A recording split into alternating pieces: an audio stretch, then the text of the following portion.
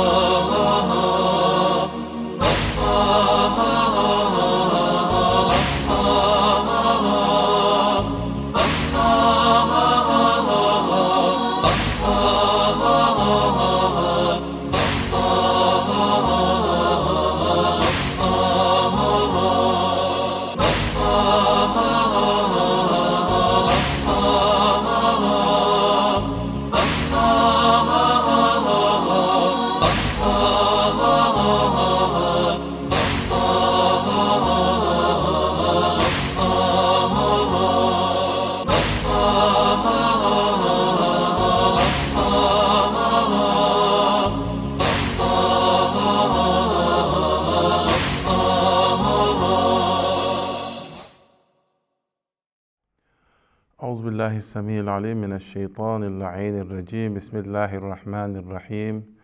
الحمد لله رب العالمين ولا حول ولا قوة إلا بالله العلي العظيم. وصلى الله على محمد وآل بيته الطيبين الطاهرين وصحبه المنتجبين. Mes chers alaikum wa rahmatullahi ta'ala wa barakatuh. Nous sommes dans le cadre de l'enseignement du dogme islamique nous avons commencé à parler réellement de plusieurs points. Et nous sommes arrivés, si les téléspectateurs nous suivent, et nous sommes arrivés effectivement euh, au stade réellement de euh, l'imamat et nous allons essayer de parler de l'imamat. Et aujourd'hui, Inch'Allah, concernant l'imamat, nous avons parlé que Allah subhanahu wa ta'ala, c'est celui-là même qui est le, est le, principal acteur à ce qui concerne la nomination d'un imam. Et après le prophète Mohammed sallallahu alayhi wa sallam, je vais parler des successeurs. Et effectivement, nous avons essayé de signifier l'imam, c'est quoi, la nécessité de l'imam, l'infaillibilité de l'imam. Nous sommes arrivés à ce que Allah subhanahu wa ta'ala, c'est lui-même par l'intermédiaire de son prophète qui nomme l'imam et le successeur du prophète, soit disant khalifa. Et nous avons avancé, si les téléspectateurs ont essayé de nous suivre dans ce cadre, nous avons fait avancer plusieurs argumentations. Ça fait partie de ces arguments et de ces preuves que nous avons dit que dès le premier temps que le prophète, l'avènement de l'islam, lorsque le prophète Mohammed sallallahu alayhi wa sallam présenta l'islam à sa communauté, la communauté mécoise, et il a essayé d'abord par stratagème, inspiré bien sûr par Allah subhanahu wa ta'ala, d'appeler seulement que les chefs des tribus, enfin réellement de les, de les annoncer cette nouvelle, la bonne nouvelle qui était l'avènement de l'islam. Et effectivement, après, ce, après avoir annoncé, il dit que je vais annoncer une chose euh, qui est nouvelle pour vous, mais si vous acceptez de moi et répondre réellement à mon appel favorablement. Et celui qui répondrait, répondra à mon appel favorablement, il sera mon héritier, il sera mon calife, il sera aussi mon lieutenant et mon successeur, etc. Et il a dit plus de trois fois, et c'est Imam Ali c'est lui seul qui a pu répondre à l'appel du prophète ce jour-là favorablement. Bien sûr, c'était une forme de confirmation, mais en même temps une nomination. Confirmation pour la foi parce qu'il avait la foi au prophète Mohammed sallallahu alayhi wa dès l'avènement de l'islam. Lorsqu'il a appelé lui et Khadija à l'islam, il avait la foi. Il a été la première personne, homme, euh, d'adhérer réellement et à l'islam et accepter l'appel du prophète Mohammed sallallahu alayhi wa. Donc, mes chers frères et sœurs, lorsque vous essayez de mettre tous ces éléments ensemble, vous allez vous trouver qu'il fut nommé depuis ce jour-là comme étant le calife, comme étant le successeur et le lieutenant après le prophète Mohammed. Et après, le prophète Mohammed sallallahu s'est pas arrêté à ce stade-là, compte tenu de l'évolution de l'islam, puisque ce n'est pas tout le monde qui a pu témoigner réellement cette annonce-là. Donc il fallait répéter l'annonce d'une autre manière.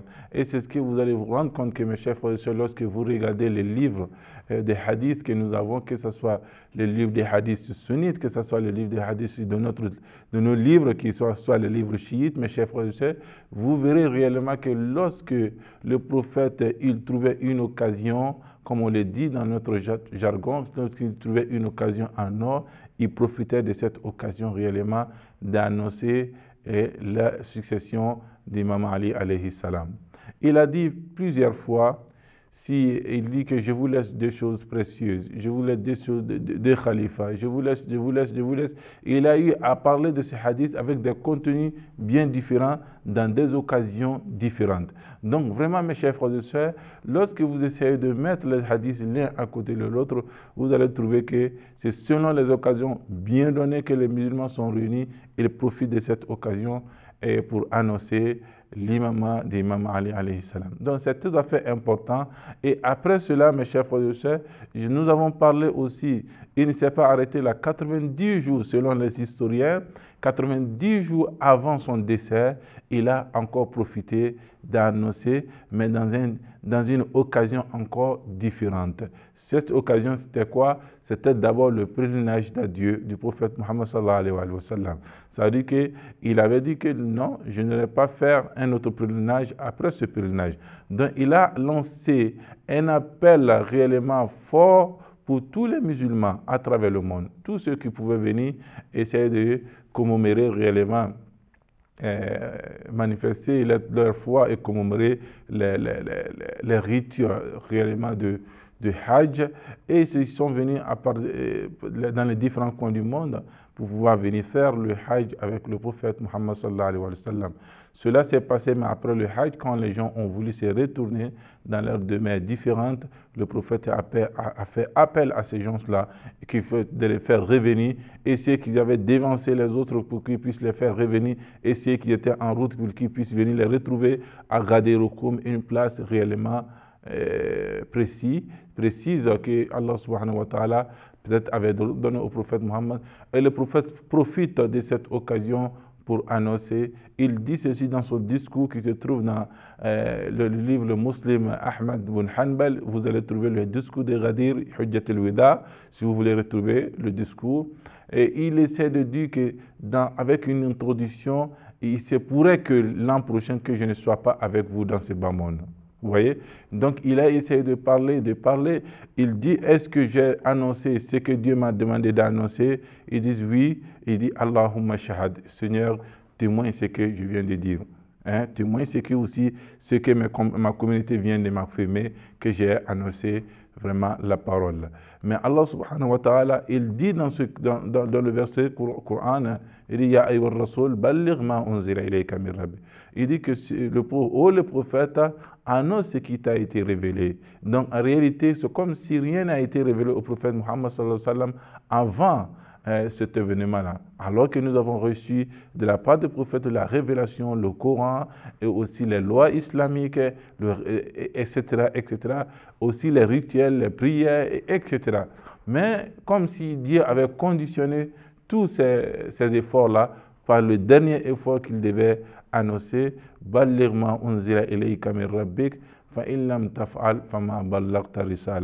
si tu n'annonces pas cette, ce message-là, c'est comme si tu n'avais pas annoncé le, message d'Allah subhanahu wa ta'ala.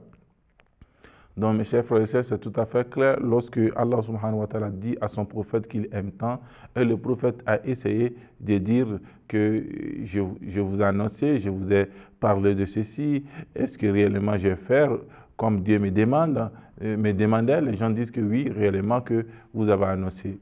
Vous avez annoncé et le prophète revenait sur ça, il disait Allahumma shahad.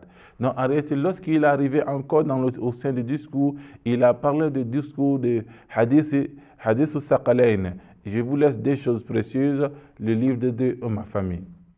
Il dit l'extrémité le, du, du corde, de cette corde-là, c'est-à-dire la corde entre Dieu et le monde, ce n'est rien d'autre que la famille et le Coran.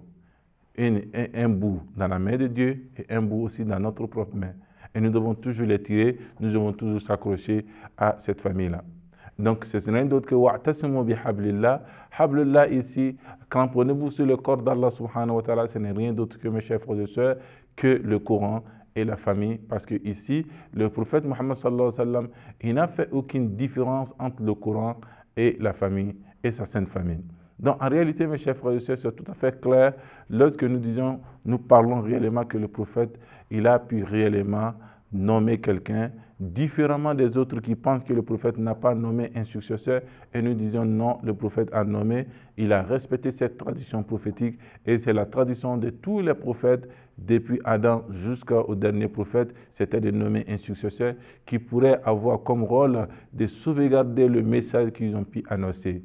Donc mes chers frères et sœurs, lorsque vous regardez la biographie de tous ces prophètes, vous allez trouver qu'ils ont essayé de nommer un successeur, un lieutenant qui, aurait peut-être, euh, aurait euh, effectivement le rôle euh, principal de protéger les enseignements qu'il a pu déployer pendant des années.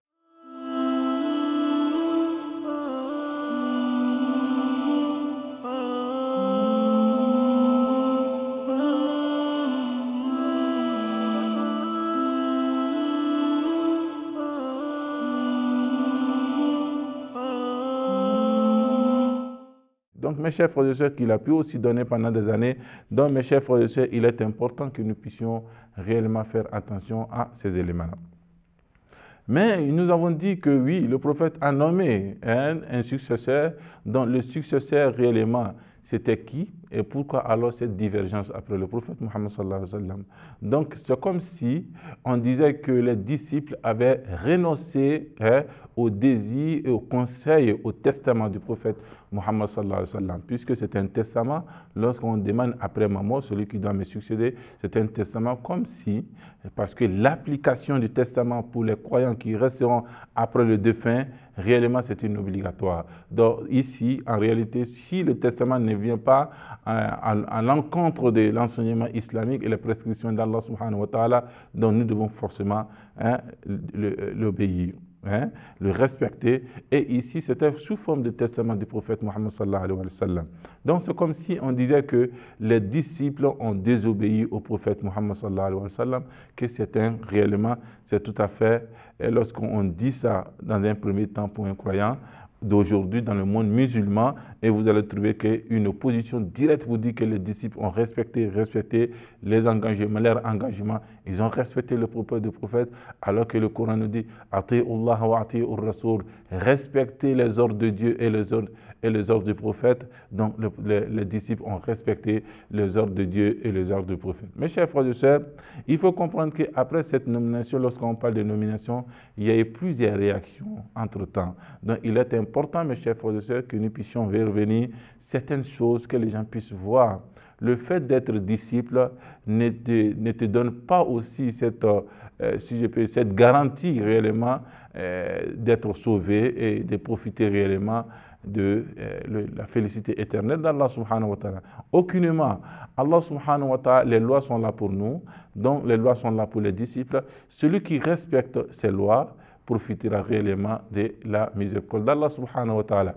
Mais celui qui ne respecte pas les prescriptions du Coran ne pourrait, ne pourrait pas quand même effectivement euh, profiter de cette miséricorde. Mes chers frères et sœurs, il est tout à fait clair de pouvoir mieux comprendre que le prophète a nommé. Et les gens se disent que si le prophète a nommé, pourquoi alors les disciples, de façon générale, n'ont pas respecté réellement cet engagement du prophète et les consignes du prophète Mohammed sallallahu alayhi wa sallam? Mes chers frères il nous faut seulement de revenir dans l'histoire et vérifier la page de l'histoire. Est-ce que réellement les disciples avaient l'habitude de respecter strictement les ordres du prophète Muhammad sallallahu alayhi wa sallam ou pas? Et vous allez dire, mes chers frères et sœurs, j'aurais vous dire non. Hein? C'est le Coran qu'on dit et c'est l'histoire qui témoigne cela. Regardez avec euh, les disciples. Il y a les disciples quand nous sommes en train de parler. Le fait d'être disciple, de profiter, voir le prophète, c'est une, c'est une bonne occasion pour le musulman, mais il suffit de profiter et de saisir cette occasion et en profiter. Il n'y a pas, c'est pas tout le monde qui a pu saisir cette occasion, le fait de voir le prophète, être à la présence du prophète, faire les batailles avec le prophète et profiter réellement de cette euh, vraiment occasion. Mes chers frères et sœurs, ce n'est pas tout le monde qui a pu profiter de cela et vous allez témoigner et cela dans l'histoire et je vais essayer de vous éclaircir point par point. Le premier point, c'est qu'on sait que les disciples, le mot disciple réellement, ne fait pas un être humain sauvé hein, de toutes les tracasseries du jugement d'Allah subhanahu wa ta'ala, etc., etc. Non, c'est conditionné par la foi et aussi les bonnes œuvres. Il y a, lorsqu'on regarde encore les disciples, vous allez trouver que les disciples se divisent en plusieurs catégories. Il y a des disciples qu'on appelle euh, les disciples qui étaient croyants. Ils étaient mukhlis, des fidèles avec le prophète Mohammed sallallahu alayhi wa sallam, et avec le prophète quand le prophète était en vie, et après aussi le prophète lorsqu'ils ont essayé fidèlement de respecter les engagements du prophète Mohammed sallallahu alayhi wa sallam. Et c'est ce que le Coran nous dit من المؤمنين رجال صدقوا ما عاهدوا الله عليه فمنهم من قضى نحبه ومنهم من ينتظر وما بدلوا تبديلا. Il dit il y a parmi les croyants des hommes صدقوا ما عاهدوا الله ils ont respecté strictement euh, l'engagement euh, qu'ils avaient pris vis-à-vis d'Allah subhanahu wa ta'ala. Il y en a qui sont partis, il y en a d'autres aussi qui attendent. Réellement, mes chers frères et lorsque vous regardez, il y a eu vraiment des disciples fidèles qui ont respecté seulement quand le prophète était en vie, respecté les engagements du prophète et après aussi les consignes que le prophète a pu donner avant de partir de ce monde, ils ont essayé de respecter ces consignes-là. Il y a cette première catégorie. Il y a la deuxième catégorie, mes chers frères et sœurs, c'est-à-dire que les sahaba, les disciples qui étaient très faibles en foi. Vous voyez, il y a un groupe très fort en foi, mais il y en a qui étaient très faibles en foi. Mes chers frères et sœurs, ce n'est pas moi qui le dis, mais c'est le Coran qui le dit. Inch'Allah, vous allez trouver cela dans le Saint-Coran. Le Coran dit Ya ayyuhalladhina amanu ma lakum idha qila lakum infiru fi sabilillahi istaqaltum ila al-ard araditum bil hayati ad-dunya min al-akhirah il dit, qu'est-ce qui vous arrive lorsqu'on vous appelle de partir vers la bataille d'Allah subhanahu sur les sentiers d'Allah subhanahu wa ta'ala et respecter l'engagement d'Allah subhanahu wa ta'ala vous devenez très lourd très paresseux vis-à-vis de l'engagement dans le respect de l'engagement d'Allah subhanahu wa ta'ala. Vous vous contentez de ces bas sans pourtant réfléchir à, l'au-delà. Hein? Donc ce sont des disciples, lorsque Allah subhanahu wa ta'ala dit faire faites ceci, ils deviennent très lourds, ils deviennent très négligents. Donc cette négligence, ce n'est rien d'autre, mes chers frères, que le produit d'un manque de foi.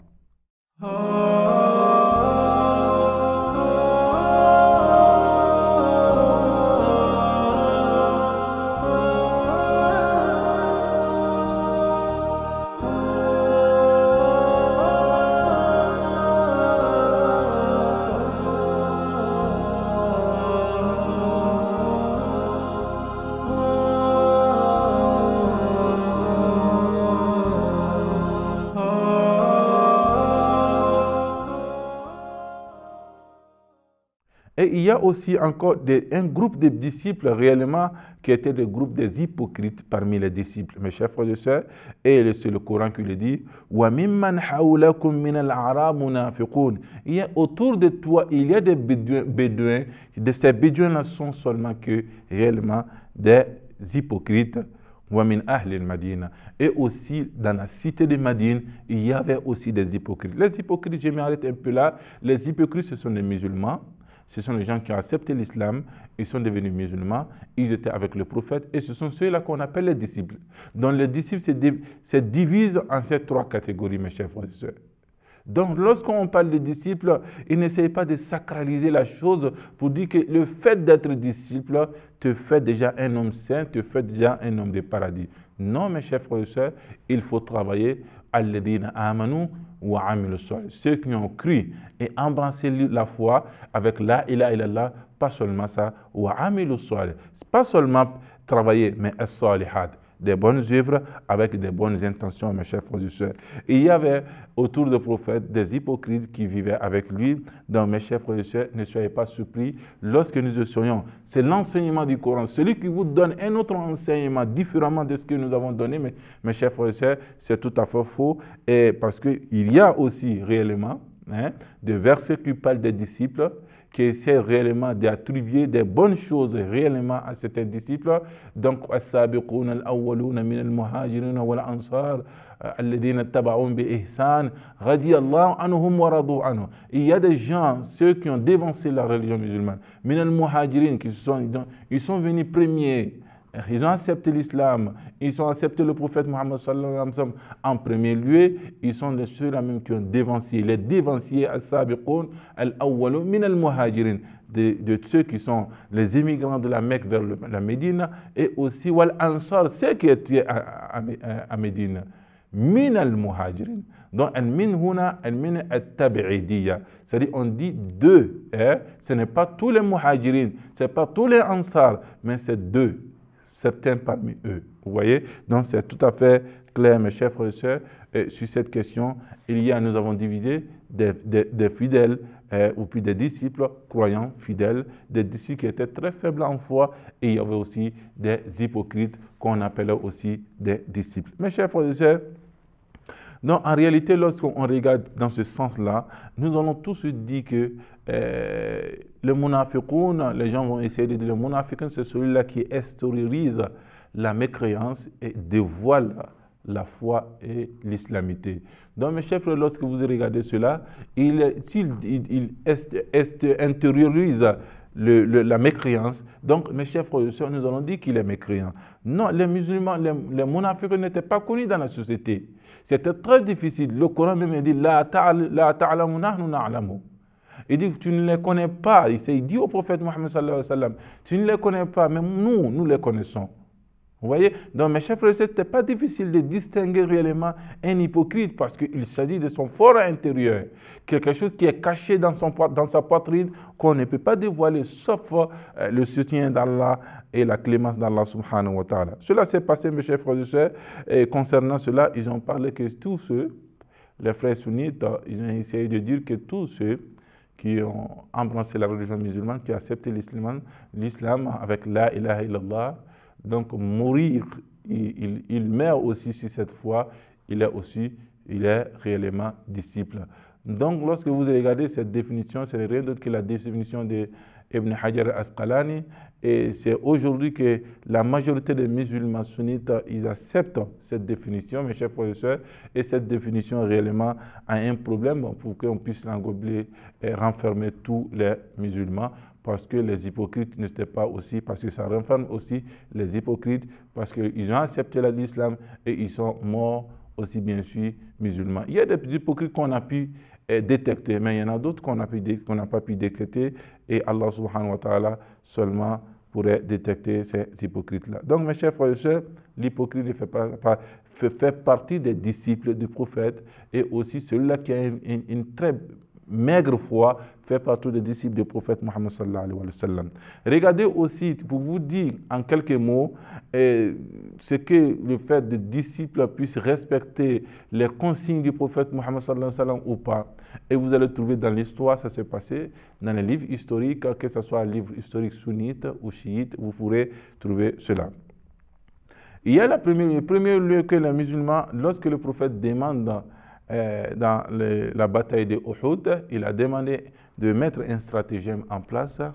Il a demandé à certains de rester sur la montagne, à certains aussi de combattre au pied de la montagne. Donc cela s'est passé, mais par manque de foi, manque de, il y a certains qui n'ont pas respecté ces engagements, ces consignes du prophète Mohammed sallallahu alayhi wa sallam. Et pas seulement ça, ils ont fui réellement euh, le, champ de bataille et laisser le prophète euh, entre les mains euh, des mécréants. Et c'est en cela que le prophète a été blessé et pendant ce temps-là. Ils n'ont pas respecté dans ce premier lieu la bataille de Uhud. Je demande à tout le monde de faire une révision correcte de la bataille de Uhud et vous allez trouver ce que nous avons dit tout de suite. Il y a aussi sur le Hudaybiyah, c'est-à-dire les pactes de Hudaybiyah. Les pactes Hudaybiyah, c'était quand le prophète avait décidé d'aller euh, effectuer le pèlerinage. Hein, au Omra avec ses disciples. Donc, euh, le petit pèlerinage avec ses disciples, lorsqu'ils sont arrivés les mécréants ont refusé à ce qu'ils rentrent à la Mecque pour accomplir les rites du pèlerinage. Donc, le prophète Mohammed voulant faire signer un pacte avec les mécréants, ils ont signé un pacte dont le prophète a demandé aux disciples réellement de ici là de, de, de, de, les moutons, de se coiffer, etc., comme ça se passe dans le Hajj. Mais il y en a certains qui ont refusé de le faire. Jusqu'à prophète lui-même, il est sorti, il a égorgé et aussi s'est coiffé devant eux, mes chers frères et il y en a, après ça, il y en a qui ont accepté, d'autres ont grogné. Mais le prophète avait dit auparavant de le faire, ils ne l'ont pas fait. Il y a aussi cela, mes chers frères et sœurs, il y a ce côté aussi, le prophète, dans ces derniers jours, il avait demandé aux disciples réellement d'envoyer un papier, un encrier au pied, euh, un bout de papier pour qu'ils puissent écrire hein, Je peux vous écrire une chose et lorsque vous vous accrochez, respectez cet engagement que je vais vous, écrire, et vous allez réellement, réellement être sauvé. Vous n'irez point égaré après moi.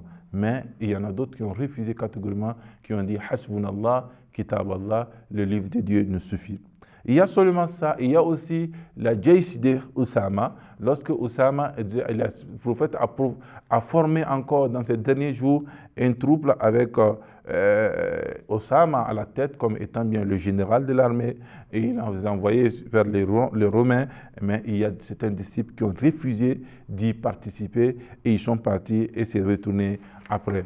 Donc il y a tout ça, lorsque vous regardez cela, vous pouvez trouver que ce n'est rien d'autre que le disciple, le fait d'être disciple ne fait pas de toi un saint, mais ce qui doit vous accompagner, ce n'est rien d'autre que la volonté de Dieu, le respect strict des prescriptions d'Allah subhanahu wa ta'ala et aussi les ordres du prophète Muhammad sallallahu. Sur ce, mes chers frères et sœurs, Inch'Allah, nous allons continuer eh, sur cette euh, allure, Inch'Allah, eh, concernant les disciples et les problèmes qui se sont opposés, succéder, Inch'Allah, après le prophète Mohammed, compte tenu de la nomination de son successeur légitime. Sur ce, je vous dis Assalamu alaikum wa rahmatullahi ta'ala wa barakatuh. Ah.